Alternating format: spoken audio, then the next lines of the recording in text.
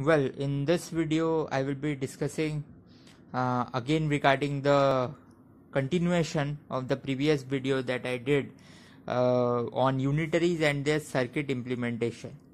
So you see, um, in the previous video, we proved this result that any unitaries can be written in this form, where A, B, C itself are unitary, and further A, B, C product is identity this really came from trying to write uh, unitaries u in form of e power i alpha uh, where alpha is a arbitrary phase.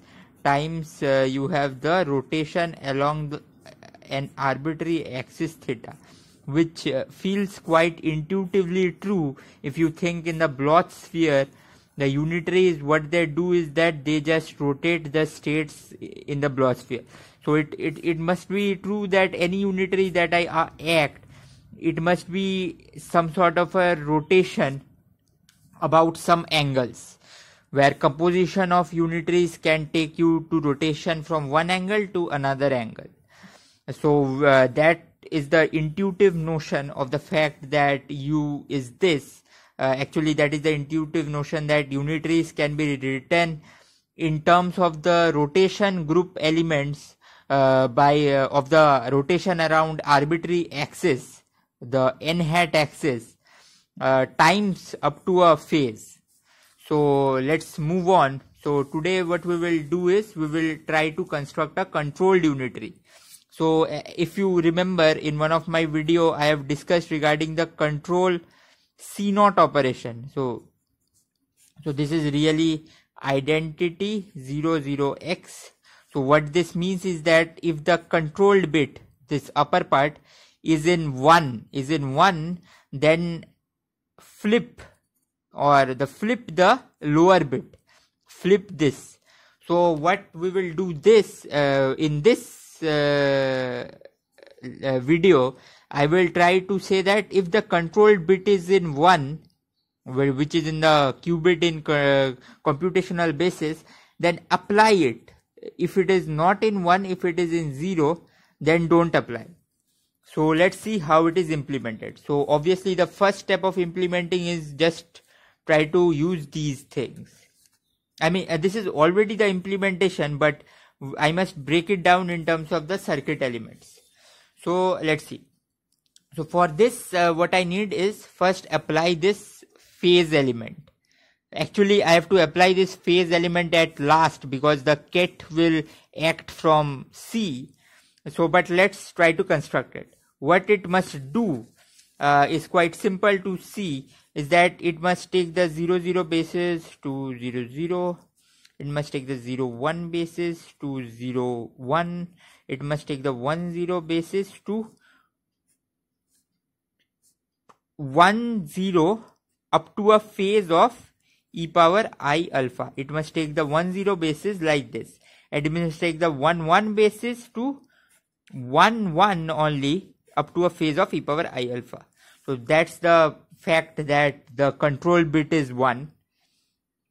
It can also be 0 if I had uh, uh, the x flips acting here but that's not for this video so so let's fix it to 1 so these are the condition. And you can quickly by a glance of eye see that uh, this kind of a circuit well let me see it here. So 0 0 e power i alpha times identity 4 cross 4 will guarantee that. Because you see 0 0 0 1 in 1 0 basis so 1 0 is 0 0 1 0 and 1 1 is 0 0 0 1 these two must change by a overall phase of I alpha. That means this block diagonal entry must be this. So that's what I have shown it here. So this must be true. But now you see, uh, this must be true, but this is just this. You see, I just broke this in terms of the tensor product from here to here. Now but we know like i have discussed already in my videos that this is just like implementing this circuit where you consider these two branches together. And if lower branch has nothing that means you are acting with a tensor identity. Because you have a two tensor Hilbert space qubit uh, tensor product space. You need something that is of the same dimension. So that brings us to the working of the phase operation. So now it's very easy to act any arbitrary unitary by remembering this decomposition. So i have drawn it here. So you see if the control bit is 0 this XOR this XOR doesn't apply. The T goes in it takes ABC and give will give you identity because ABC are such unitary operators that satisfy the uh, relation that ABC product is identity. If they are non-zero, if if the q this uh, bit is 1 then it is set then this is it takes c it applies an x operator it takes b it applies an x operator it takes a it applies a phase operator. So this gives you this. So the, and this part is really u. So we are done. So we have applied u conditionally. Now the point is this is on uh, 2 qubits. So this is a uh, this is a uh, this is a quantum state of dimension 2 this is of dimension 2 each of them are qubit. So we can condition on n qubits actually so you see you you have uh, suppose you have 2 2 2 2 like this you have tensors up to n. So this is the state which is a hilbert space of 2 power n dimension. And this suppose is a Hilbert space of uh, let's suppose this is a Hilbert space of k dimension. Uh, the dimension the same dimension you have access to your unitary presently we have access to only two dimensional 2 cross 2 unitaries so let's assume k is equal to 2 so what this means is that whenever each of this 1 to n entry all the qubits are in one state, I will apply my unitary to this. If they are not in, if any one of them is not in one state, I will not apply. So this is equivalent to saying that uh, just applying the unitary like this. So you can see from here to here, uh, where this pi, where this pi that I have written here uh, is just product. It is the product of each of these qubit. So that if any one of them is in zero state the product will go to 1 uh, will go to 0 and the unitary will not be applied. I hope this is clear so now let's look at as an example. So this is the application of Toffoli gate. This gate is very important and it can't be constructed classically but by using qubits we can construct this gate.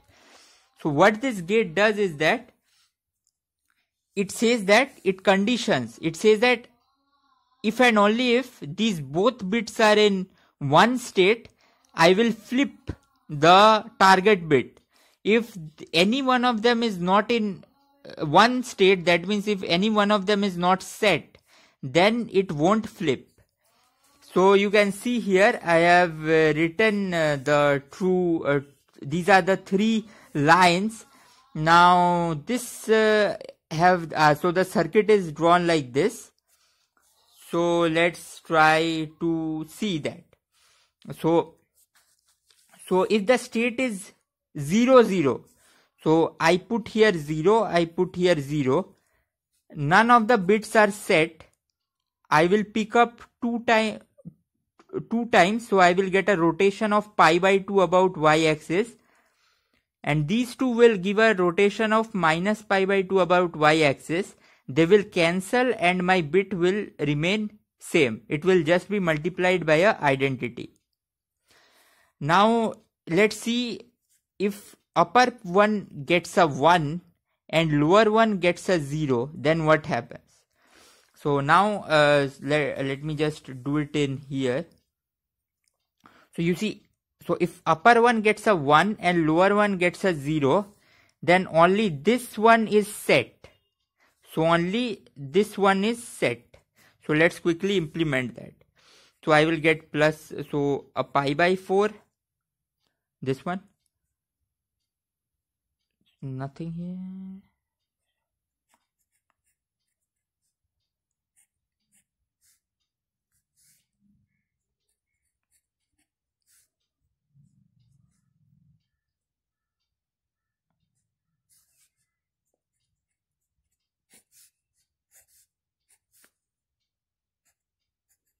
so I will get this.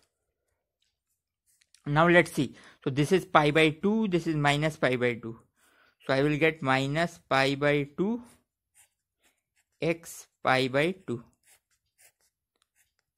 I can put here x square. So x square is identity.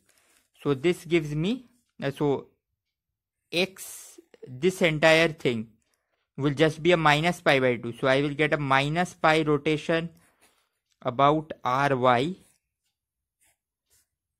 and then I will get x times this state.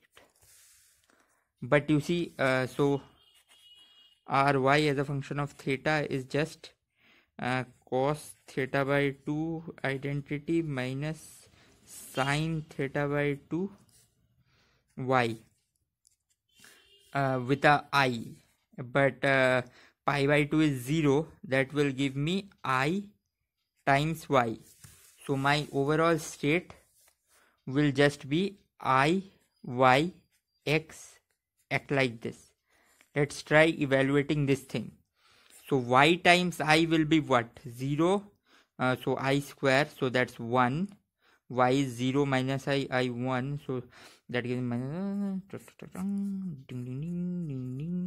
ding ding. And let's do this. 0 0 0 um, well uh, wait a minute. So i think i have done some um well um, let me just check it once more. So i square is minus 1 so this goes with oh yeah. So this is 1 this goes with this. 0 uh, 0 this gives me minus 1 putting on this now the state is a qubit so this is the, the z operator acting on the state it will either give me plus minus times the state. So my state remains unchanged up to a factor of phase. A phase of uh, if it is minus then i will get what? So i will get i pi. If it is plus then i will get there is no phase.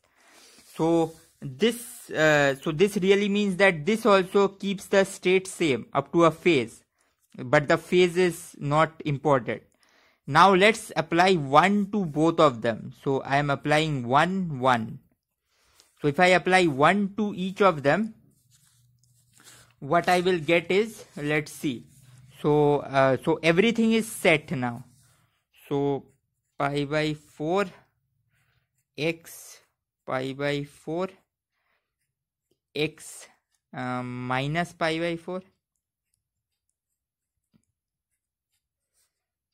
to pi by 4 x pi by 4 x minus pi by 4 with pi by 4 x pi by 4 x minus pi by 4 x and minus pi by 4 acting on this. Well get this now. So this here together is minus pi by 4 it cancels this one. So i get minus pi by 4 x minus pi by 4 times this. Now put again two x's here that will give me minus pi by 4 that's pi by 4 and then I will get x times this. This is again identity. This gives me x times this that is the flipped operator. So that is just the flipped operator.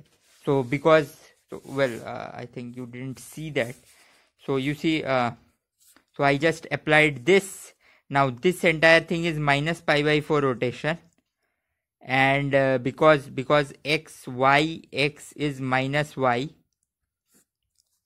then uh, if this is minus uh, this is minus pi by 4 it takes this one down to give a identity then I will be left with this. I again put 2x, x square is identity, x is the Pauli x operator. So this gives this part plus pi by 4. This takes this down to give this and then I have the flipping. So this circuit flips whenever both the bits are 1 and hence it is a Toffoli gate. So let's look at the, uh, now let's for the final thing let's look at this uh, implementation of a CN operator. So, so what is the CN operation? So CN operation what it does is that uh, the first four bits are the control bits. And these are just the working bits. And this is something that we don't need but we need this for the circuit implementation. And this last part is the target bit. So what it, will do is that if and only if these four bits are 1 implement the unitary. If that is not the case then don't implement. Let's see quickly so if c1 c2 is 1 automatically this passes to 1 here. If c3 is 1 this passes to 1 here. If c4 is 1 this passes to 1 here. This just puts this 1 any one of them here whenever is 0 the 0 doesn't pass on to 1 and hence the circuit is not implemented.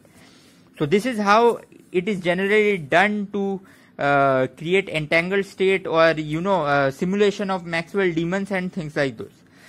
So I hope this uh, lecture was clear, particularly the Toffoli gate I tried to show.